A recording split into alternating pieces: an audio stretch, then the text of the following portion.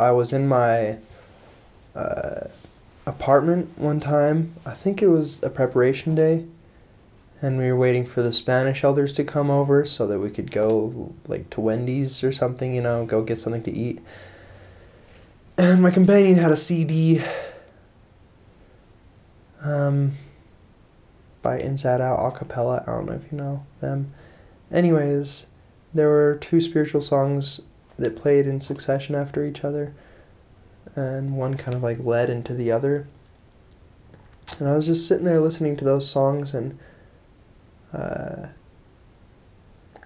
I it was the spirit really, really, really, really, really strongly all of a sudden um, testified to me that I was sealed to my little sister, who I really love. And uh, yeah, I just lost it. I was just crying because um, it was just so cool. I mean, it was just awesome knowing that I'm I'm still gonna be her big brother after this life. You know, I she's like my best friend, so I know that I can always have her with me, and that's that was awesome. So that was a cool experience.